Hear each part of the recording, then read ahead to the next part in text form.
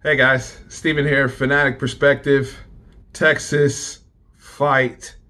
Texas Longhorns get it done. Utah, 38 to 10 victory in the Alamo Bowl in San Antonio. We hold down Texas, dominant victory. Guys, I was wrong in my preview. I picked Utah to win this game, and we came out and whooped ass. We came out and dominated from the opening whistle, the opening snap, all three facets of the game. I was impressed with the product that Tom Herman and this UT football team put on the field.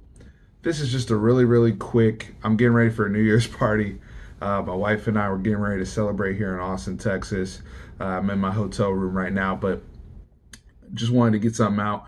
We'll be back with a full post game Alamo Bowl recap with Tran tomorrow.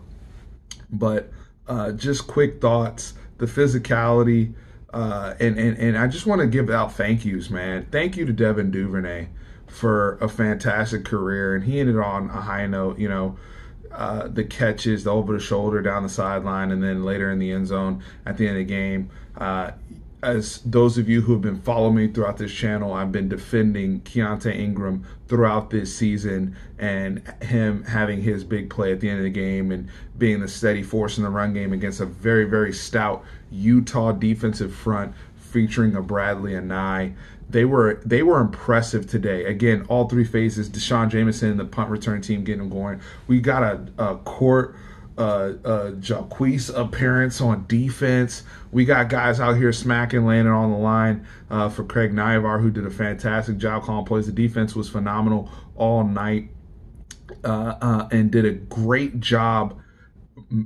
A tackling and B containing Zach Moss in the run game, sticking with their run fits and getting Utah in those must pass situations and getting them to pass on UT's terms. And they were dominant tonight. And this is it's it's it's fun and I'm I'm always happy again ending the decade on a dub and, and, and representing and putting on for the Big 12 and and, and beating a team that was ranked 11th in the in the country and I think after this victory we should be ranked finishing 8 and 5 on the season.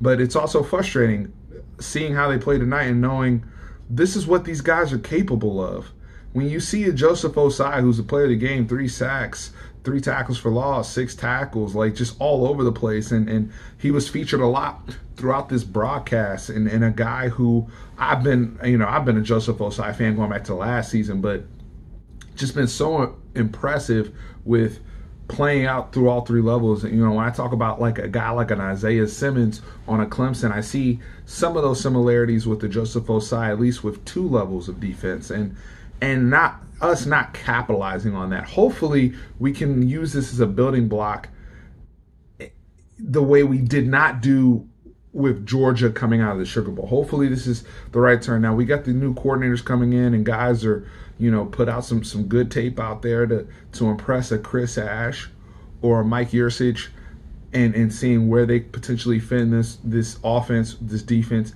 and special teams. But we took all three facets of the game seriously. We took our opponent seriously tonight, and we came out and played and we dominated athletically, strength, and mentally. And and there's no better way I could uh, bring in the new year eh, eh, with a, a dub and a Texas victory over the Utah Utes or whatever the hell how you pronounce their name. but um, guys, I, I'm just I'm thrilled.